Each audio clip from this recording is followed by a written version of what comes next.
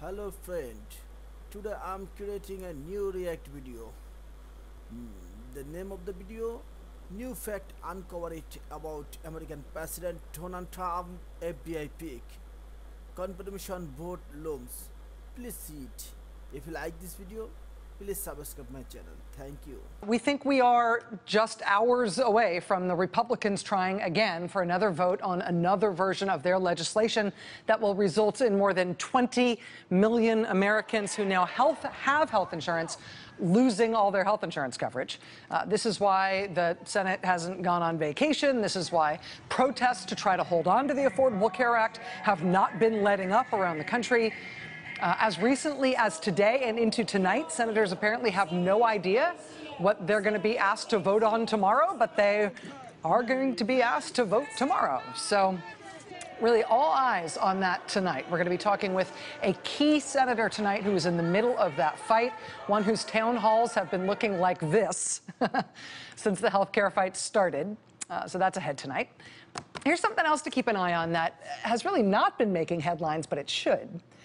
I mentioned that the healthcare thing is the reason that the Senate is not going on their usual epic vacation that they typically take around this time of year. That matters this year, not just for senators' vacation schedules and whether they get to spend time with their families and going to the beach and blah, blah, blah. It also uh, doesn't matter just for the not inconsider inconsiderable question of whether they're going to use their extra time in Washington to try to take health insurance away from over 20 million people. There's an additional reason their vacation schedule really matters this year.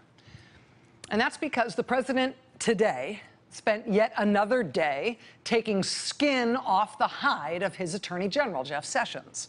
The president told the New York Times last week that he wishes he hadn't hired Jeff Sessions to be his attorney general.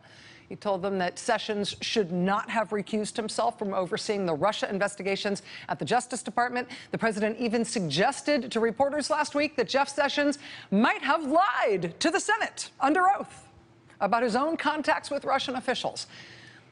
And that matters not just because being attorney general is a big deal, not just because the president and his attorney general are thought to be so close, so there's some human drama here. This really matters for all of us in the country because of the gigantic scandal looming over this administration. Because as we have been reporting, if the president somehow gets rid of Jeff Sessions as attorney general, the president would be in a position to replace him with somebody else who was not recused from overseeing the Russia investigations at the Justice Department. And that Trump choice to replace Jeff Sessions could then be in a position to get rid of Bob Mueller, to, to fire or otherwise block the Trump Russia investigation that's being conducted by the special counsel, Robert Mueller. So, whether or not Jeff Sessions stays is really important. And that factor is why it's now way more important than it usually is to know when and if the Senate is going on vacation. The, the shortest, easiest, most direct, most unstoppable way that President Trump could get rid of Jeff Sessions in order to replace him with somebody else who could fire Bob Mueller. The, the shortest, most direct, most unstoppable way for him to do that is for him to wait until the Senate is in recess. And then fire Jeff Sessions and make a recess appointment of a new one.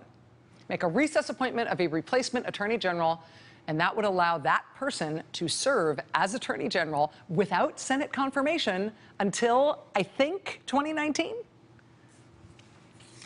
Plenty of time to kill off the Bob Mueller investigation in any case. Now, this top Republican in the Senate, the Senate Majority Leader, Mitch McConnell, he could stop something like that if he really wanted to by technically never letting the Senate go into recess. He did that during the last administration to stop President Obama from making any recess appointments. We have no idea whether he would do the same thing here to stop President Trump from kiboshing the Mueller investigation through that kind of a maneuver. But the Washington Post, late tonight, they're reporting that the White House is actually having discussions about this prospect now. Quote, President Trump and his advisors are privately discussing the possibility of replacing Attorney General Jeff Sessions, and some confidants are floating prospects of who could take his place were he to resign or be fired. Members of Trump's circle including White House officials, have increasingly raised the question among themselves in recent days as the, as the president has continued to vent his frustration with the attorney general. Replacing Sessions is seen by some Trump associates as potentially being part of a strategy to fire special counsel Bob Mueller and end his investigation into whether the Trump campaign coordinated with the Kremlin to influence the 2016 election. So, Vacation's always interesting. but this is why we, right now, really are nationwide on vacation watch for the U.S. Senate with a renewed intensity. The Senate going on recess really could be the opportunity the president is looking for to push Jeff Sessions out, to bypass Senate confirmation, and to get somebody in there to fire Bob Mueller. So, heads up. Speaking of Jeff Sessions, the top Democrat on the Judiciary Committee, Dianne Feinstein, has issued a public letter demanding that the Attorney General come in and testify in the Senate to clear up whether or not he lied to them previously about his communications with Russian officials. Washington Post reported on Friday night that U.S. intelligence agencies intercepted communications from the Russian ambassador communicating back home to Moscow to his superiors. Um, they intercepted communications that said that the Russian ambassador had been discussing the Trump campaign and U.S. policies toward Russia with Jeff Sessions when he spoke with him during the presidential campaign. Sessions himself told the Senate in writing that that never happened. He told the Senate in writing back in March that he didn't recall any discussions with any representative of the Russian government regarding the political campaign. Now, it's possible the Russian ambassador was lying about his meetings with Jeff Sessions. It's possible Jeff Sessions was lying about his meetings with the Russian ambassador. But at least the top Democrat on the committee that oversees the Justice Department uh, would like to figure out uh, who was lying, because one of them was. So far, the Republicans on the committee uh, don't seem as excited as the Democrats do about the prospect of having the Attorney General come by and get sworn back in again. Uh, we'll see. More on them in just a second. But today, of course, was the first day that a serving senior White House official spoke to the congressional committees that are investigating the Russian attack on our election last year and the possibility that the Trump campaign was in on it. White House senior advisor and presidential son-in-law Jared Kushner was named in May by the Washington Post as a person of interest in the special counsel investigation into the Trump-Russia affair after multiple bouts of him not disclosing his various meetings with Russian officials during the campaign and during the transition. We're not sure why today was different, but today Jared Kushner decided that he would disclose a new one. He waited until today, until his, his interview with the Senate Intelligence Committee was scheduled today, to disclose yet another meeting that he took with a Russian official that neither he nor the White House uh, or the campaign had, had previously disclosed. Uh, we will be talking with the senator on the Intelligence Committee about that tonight, as well as Mr. Kushner's confirmation today that he did talk with the Russian ambassador about trying to set up a classified means for him to communicate directly with the Russian government during the transition. So today, Jared Kushner met with the Senate Intelligence Committee. Tomorrow, he meets with the House Intelligence Committee. Both of those meetings are behind closed doors. For some reason, today's was not under oath, but tomorrow's is under oath which I don't get at all. But honestly, Congress can be a little hard to follow when it comes to closed hearings and classified material. But there are, there are two other things to watch for that are about to happen that I think are worth kind of sticking at the top of the show here tonight. Right before the election, you might remember that Slate.com made a splash with a long, densely reported piece about unexplained, extensive data transfers, maybe at least extensive electronic communication between a computer server associated with the Trump campaign and one associated with Alfa Bank. Alfa Bank is a large Russian bank. It's considered to be closely linked to the Russian pres President Vladimir Putin. Alfa Bank maintains that these transfers between its server and the server connected to the Trump organization, that Alfa Bank maintains that those, those electronic communications were totally innocuous the Trump campaign said at the time, quote, the Trump, camp- the Trump organization has no communication or relationship with this entity or with any Russian entity.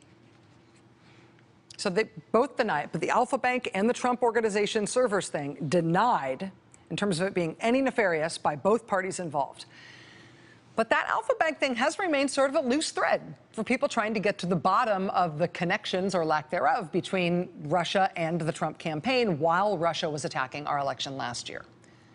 Well, whether or not you've ever cared about that before, tomorrow in the Senate, President Trump's nominee to lead the criminal division of the Justice Department, uh, he's going to get his confirmation hearing. Tonight, the New York Times reports that, hey, it turns out he worked for Alfa Bank.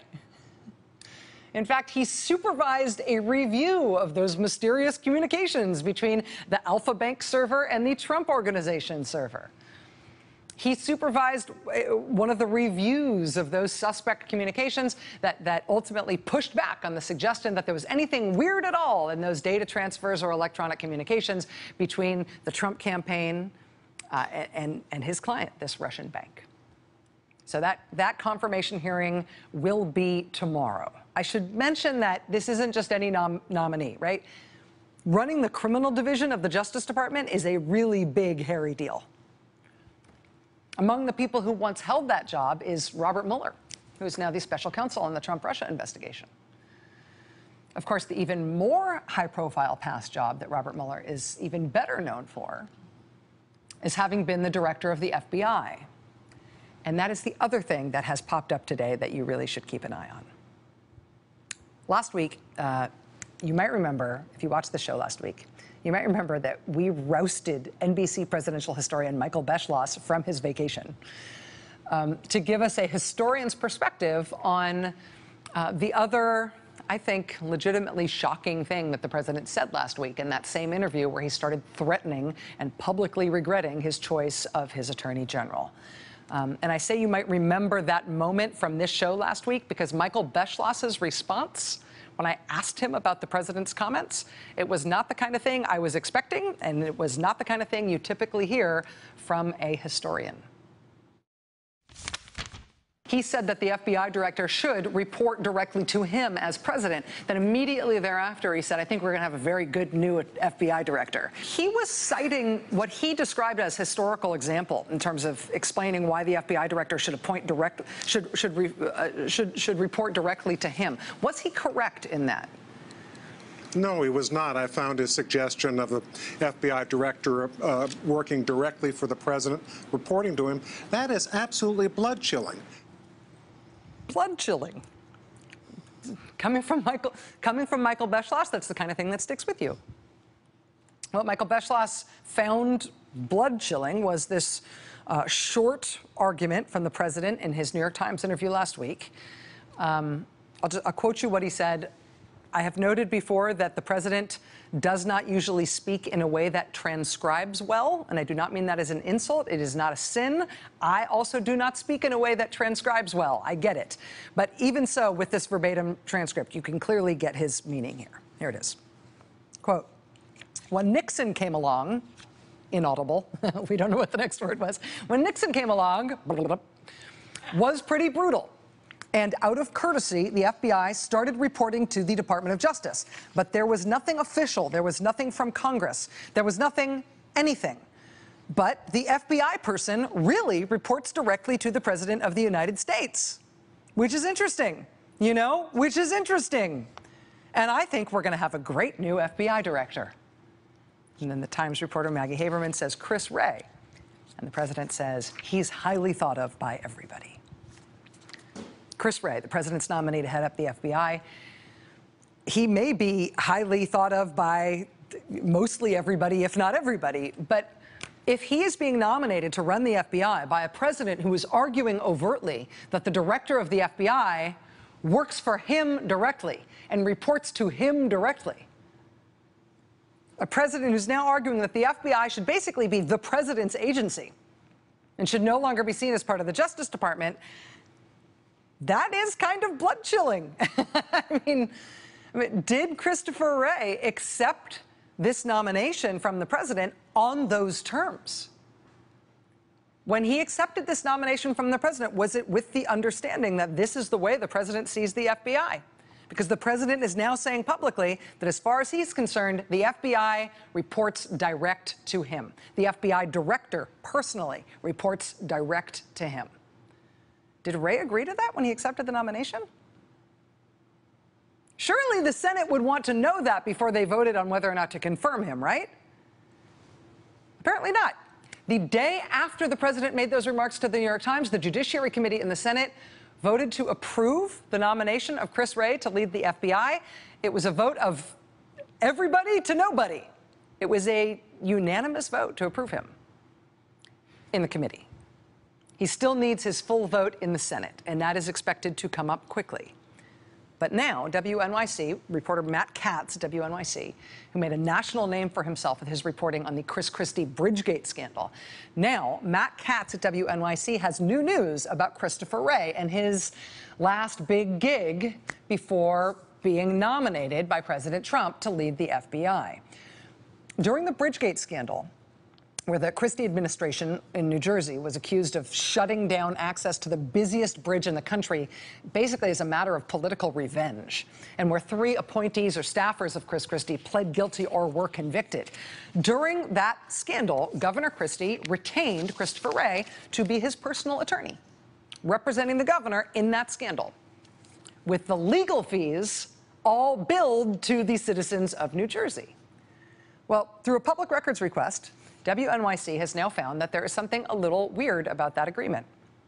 Namely, it appears that the taxpayers of New Jersey started paying Christopher Wray to represent Chris Christie in the Bridgegate scandal all the way back in 2014. But that fact was never publicly disclosed. Well, at least it publicly wasn't disclosed for a very long time. They never even filed the paperwork to make it official until Christopher Wray had already been on the job, doing the job for 11 months almost a year, billing the taxpayers for his work. All the while, Chris Christie was gearing up for his presidential campaign without having to answer any pesky public questions about his legal fees being picked up by the taxpayers of his state because nobody had any way to even know that was happening for almost a year, which politically was great for Chris Christie at the time. It was not necessarily great for all the taxpayers who were paying those millions of dollars in legal bills all that time to Christopher Wray and his firm with no way to know that they were doing it, and therefore no way to question it. WNYC is also reporting that Christopher Wray stayed on the public payroll in New Jersey. He and his firm kept working for Chris Christie on Bridgegate even after the trial was over. Even after the trial ended and Christie's staffers and appointees were convicted and sentenced to prison, we're not sure why Christopher Wray stayed on. We're not sure why Chris Christie still needed private legal representation on the Bridgegate matter at taxpayer expense at that point after the trial, but he kept getting it, and taxpayers kept paying. And then, not long thereafter, Chris Christie apparently recommended Christopher Wray to President Trump as a good, a, a good choice to, to go run the FBI. He's already passed through, his nomination has already passed through the committee. One vote left sometime very soon in the full Senate. Joining us now is Matt Katz. He's a reporter with WNYC who broke this story earlier today. Matt, thanks for being here. I really appreciate it. You got it, Rachel. Thank you. Um, how is this supposed to have worked? Yeah. And how did it actually work? How big is the distance between the two? Sure. I mean, normally you hire an attorney, and government entities obviously hire attorneys all the time, and you have a contract, you have a, a retention agreement, and then you figure out how much you'll be billing, and you go ahead and the representation begins. In some circumstances, if there's some sort of emergency, uh, if your legal represent, representation is needed immediately, uh, then it might take a couple of weeks between the time the lawyer lawyer starts working and the government signs a retention agreement with the attorney. Mm-hmm. Uh, I, I, spoke to as many lawyers as I know, and as a reporter, know a lot of lawyers, and nobody had ever heard of this lag time. It took 11 months uh, before any sort of retention agreement was signed. Uh, and, and he is, Chris Wray was billing the whole time. He didn't officially send the bills into the state of New Jersey so they could be paid for by the Treasury, but he was billing. In fact, from September 2014 until Christmas of 2014, him and his colleagues worked every single day except for three days. They were doing a ton of Through the work. weekends and everything. Through the weekends and everything. They were doing a ton of work for Chris Christie. We don't know what that work was because Chris Christie was never charged. Um, we do know one thing. The only thing we know that he did was hold on to Chris Christie's cell phone. Chris Christie's cell phone became uh, a topic of interest in the Bridgegate scenario because he had texted an aide uh, during a key legislative hearing in which the whole scheme started to unravel. And they had a series of text messages that went back and forth during very uh, important times of this hearing where new details were arising. And that's a, a cell phone, perhaps that cell phone is one that Chris Wray was holding on to Chris Christie. Uh, we were holding on to for Chris Christie. And that was of investigative interest, right? Wasn't that cell phone the subject of a subpoena? uh, the defense, the former Christie aides who ended up getting indicted and convicted for this crime, uh, they sought this cell phone. The judge ended up quashing that. But that became an issue in the summer of uh, 2016, right before the trial, after Chris Christie's presidential run flamed out. And that's the first time the public ever knew the name Chris Wray. We had no idea Christopher Wray was representing the governor. And while he was representing the governor on the public's dime, if I had filed a public information request for Christopher Wray's bills, nothing would have come back because there was no documentation. There was no Wait, so when we heard about the uh, Chris Christie's lawyer had his cell phone thing in the summer of 2016, as you say, I remember that reporting breaking.